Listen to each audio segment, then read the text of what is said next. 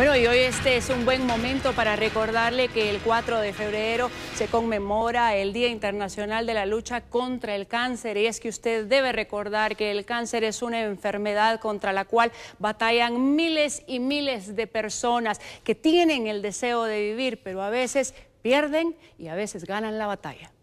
Primera vez que estuve a la borde de la muerte fue cuando me sacaron el tumor que tenía en el estómago.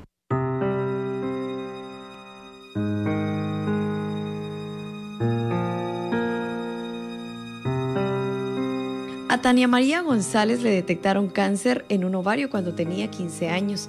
Ahora tiene 17 y ha estado cuatro veces al borde de la muerte.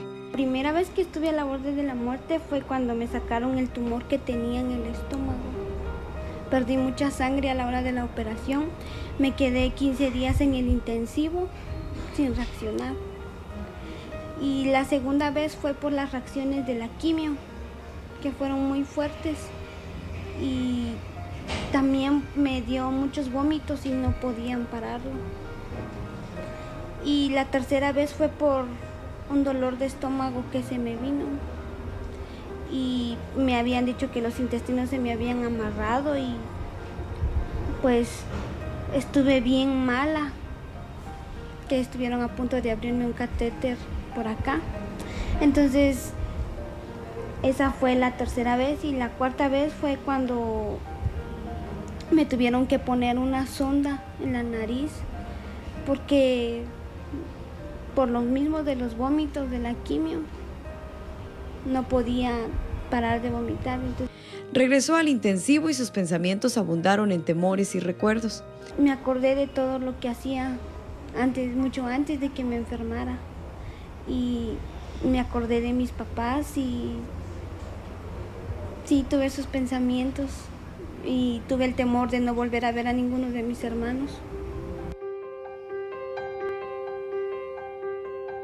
La historia de Tania es uno de los 3.500 casos que el Instituto Nacional de Cancerología atiende anualmente, pero hay una tendencia a creer que el cáncer está en nuestro cuerpo. ¿Qué dice la ciencia de esto?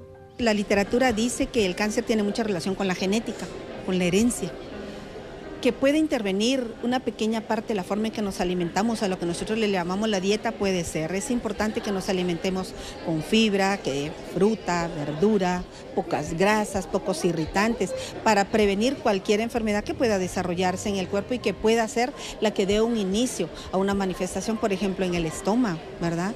Que nosotros no comamos alimentos preservados, que no tengan muchos conservantes, no comer muchos irritantes, comer a las horas, comer alimentos que realmente nos beneficien. Sin embargo, el ejercicio físico, consumo de agua y exámenes a tiempo son factores preventivos de este padecimiento y los cánceres más frecuentes son. El cáncer más frecuente en el sexo femenino sigue siendo el cáncer de cervix, le sigue el cáncer de piel y luego el cáncer de mama son los cánceres más frecuentes, son cánceres que se pueden detectar tempranamente. En el sexo masculino, el cáncer de próstata está tomando el primer lugar, le sigue el cáncer de piel y luego tenemos el cáncer de estómago, precisamente la jornada que se encuentra ahorita la Liga Nacional contra el Cáncer. En el INCAN más o menos se evalúan 15 mil pacientes al año. Pero las enfermedades no eligen edad. Tania tenía 15 años cuando llegó al diagnóstico, Alicia 55 y cinco años después se convirtió en voluntaria sobreviviente en el instituto.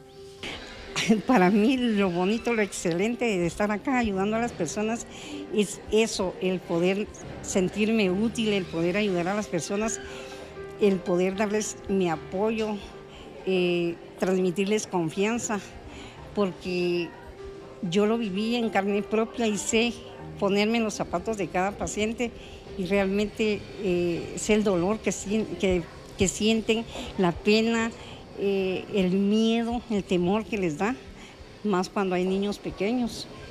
Ella considera que el cáncer es una enfermedad de combate y con apoyo de la familia resulta más ligero. No obstante, el precio por estos tratamientos es elevado.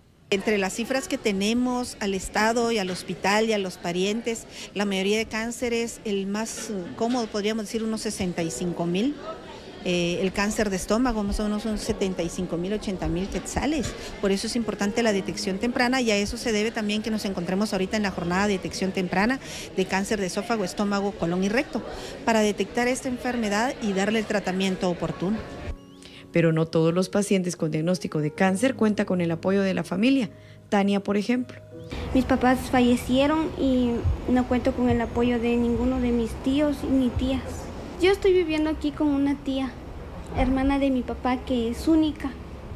Entonces yo vivo con ella y mis hermanos no pueden venir a cuidarme porque no, no pueden. Y yo tengo una prima aquí que ella me viene a dejar y me viene a traer cada vez que salgo de quimio. Su papá murió en un accidente y su madre de cirrosis y esta es su esperanza. Pues la ilusión de seguir estudiando y ser alguien en la vida. ¿Cómo, cómo enfrentarías un reto después de que salgas de acá? Pues con la misma fuerza que he enfrentado todo lo que me ha, me ha tocado vivir estos últimos meses. Pero la actitud para enfrentar las vicisitudes puede determinar la existencia de un ser humano. Me detectaron en noviembre, me detectaron que tenía un tumor aquí en la mama. Ajá. Cáncer de mama. Ay, yo le voy a pedir a Dios, mire, usted tiene cáncer, me dijo. Ay, doctor, yo le voy a pedir a Dios que Dios primero me va a sanar, le dije. No me volví así, como otra gente que se vuelve, no. Yo le dije, ay, primero Dios, yo le voy a pedir a Dios, le digo que Dios cure, le digo, que me cure, le digo.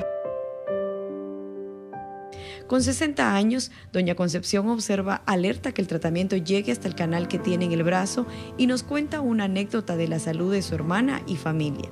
Mi hermana murió de cáncer en la sangre. De ahí nadie, nadie padece de nada. Mi papá tiene 94 años, ahí está. Mi mamá tiene 85 y ahí está. Ahí están los dos, mire, buenos están ustedes, buenitos, porque mi papá no padece de ninguna clase de enfermedad. Mamá le dijo, fíjese que le voy a decir una cosa, le digo. Pero no se a poner triste, mamá, lo que le voy a decir, que a mí no me gusta que, que le digan mentira, que no sé qué, le digo, no, ustedes saben la verdad, mamita, le digo. Entonces, mamá, viste que yo tengo la misma enfermedad que tiene la Elba, le digo, que tenía la Elvita, le digo. Pero no lo voy a tomar por mal, mamita, le digo. Vaya, mi hija, me dijo, no, yo lo que voy a decir es que también es bien católica. ¿Sabes qué, qué voy a hacer cuando me sienta triste? Voy a ir a pedirle a Jesús, me dijo. Que te, que te cure, me dijo. La vida de Tania cambió y poco a poco ha asimilado su condición y espera regresar pronto a casa con sus seis hermanos. Doña Concepción apenas inicia su proceso, pero se siente bien y Alicia decidió servir luego de sobrevivir el cáncer, una enfermedad que si se detecta a tiempo puede curar.